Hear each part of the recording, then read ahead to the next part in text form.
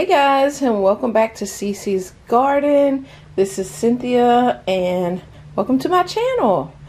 So, I was so pleased with the winter sowing jugs that I decided to do two more. now, these are going to be for my summer loving plants, which is okra. So, I'm going to try some okra in there. I have longhorn okra which gets really big long pods. And then I have Louisiana green velvet okra, which I have my dirt right here. And I'm gonna, my soil, I'm gonna put them in there. I'm gonna tape them up. So yes, I will be planting them both out there in the garden. The other ones are doing really good and I'm going to put these out kind of where the sun is really going to hit them. And speaking of the sun, I know people up north going to be upset to hear this, but our weather is nice today. Now, this morning we woke up below freezing, but now it's in the upper 50s. And yeah, so I'm going to take y'all outside but y'all can see all my babies. I brung them out so they can get some chlorophyll, some light on them, some some wind, you know, so they can get hardened off. But before I do that, I want to show you the things I'm going to direct sow today. We're going to do some parsley, triple, triple curled parsley. I'm going to do some early wonder beets. I have a bad issue with beets. I have not been able to grow any, but I keep trying anyway. One day it will take. I have some marigolds. These are from the okra lady. Don't know what color they're going to be, but we're going to plant them out there. I'm going to probably plant them in one of the beds that already have some stuff so we can have some marigolds to protect them. I have some, what are these? Carrots. Planting some more carrots out there. I'm going to actually put them in a container out there. Yeah, I don't think I'm going to plant them back in the ground. I want them in their own container so they can sit there as long as they want to. And I don't have to worry about them. But these are rainbow blend carrots. Then we have this garden sweet burpless hybrid cucumber. I already have, I think, six or seven plants of cucumber that are ready to go in the garden. But I'm going to plant these right up in there with them. And I'm to do some chives. So uh, I think I have some chives in a container. They haven't came up yet. But I'm to plant these directly. And I wanted to show you my labels. Y'all, I have been learning so much from Renee's Garden channel. And, um, I mean, other people probably already done this. But I seen it on her channel. So I'm to shout her out again.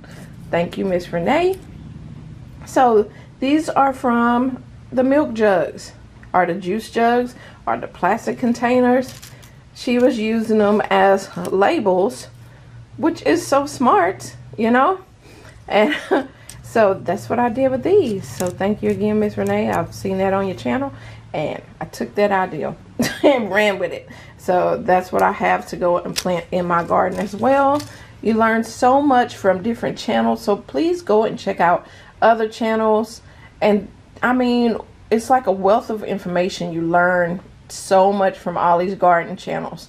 All right, guys, I'm going to take y'all out for y'all can go and see my babies. All right, look at them. They're like, yes. Now, the sun was just out.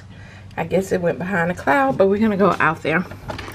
Now, like I said, it is in the high 50s, so it's not, it's not no hot sunny day. We are going to have that next week. We're going to be in the 80s. Yes, we are. You know, I love my climate that I live in because I do not like snow. No, at all. I don't like snow. I don't like cold. And uh, so that's why I live in Texas. If I don't like Texas weather, then I can move somewhere else. But I like that it gets hot here and, you know, can't do snow at all. Don't even like it.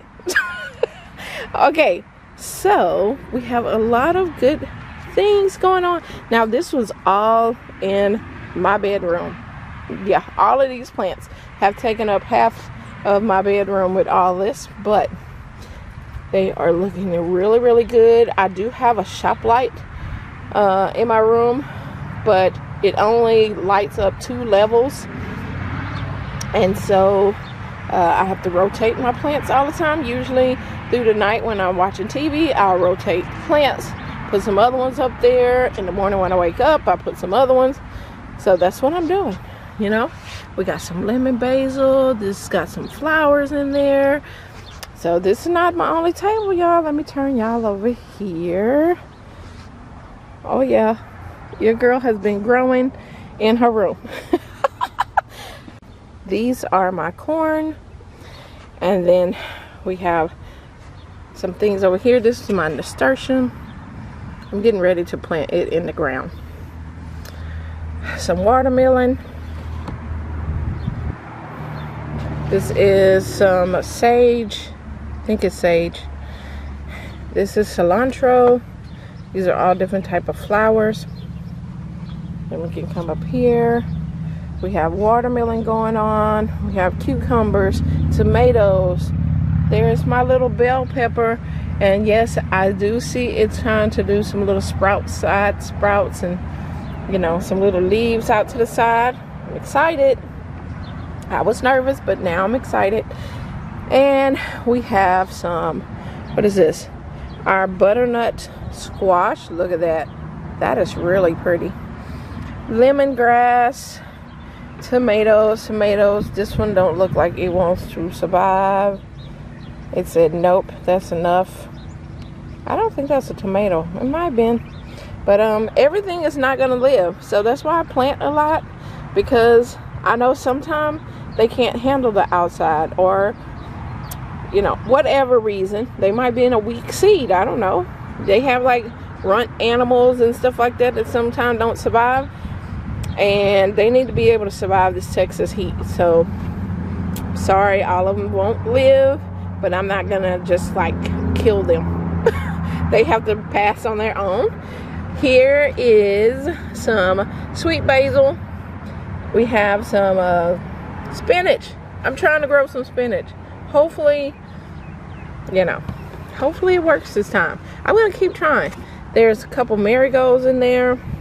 These are all tomatoes with a nasturtium right here. These are flowers and mint in here. There's a tomato. These are somethings, I think some kind of pepper.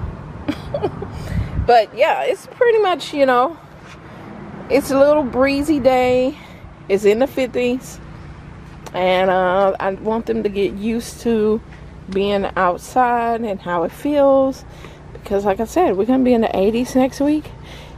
And a lot of stuff going in the ground in pots and everything that I need to put them in so they can stay outside and I can start growing a couple more things in my room for a little bit.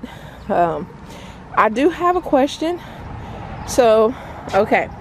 These are this is my aloe plant which has turned into three.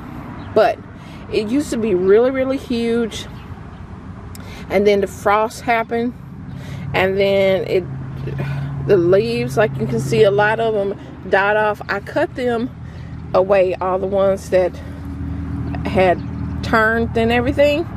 So um, my question is it should scab over and I'll be able to plant these and these go on but what kind of things I need to do like as for fertilizer for my aloe?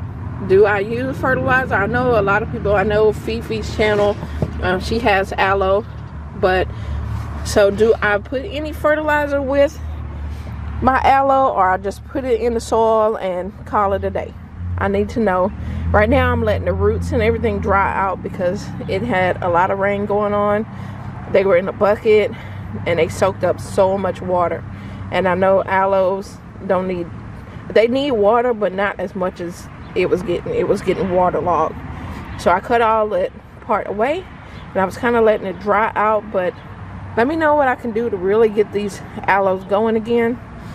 And um, anyway guys, I am going to get off of here enjoy the outside go in the garden, go and put all those things I need to plant in the garden, and winter sow those okra.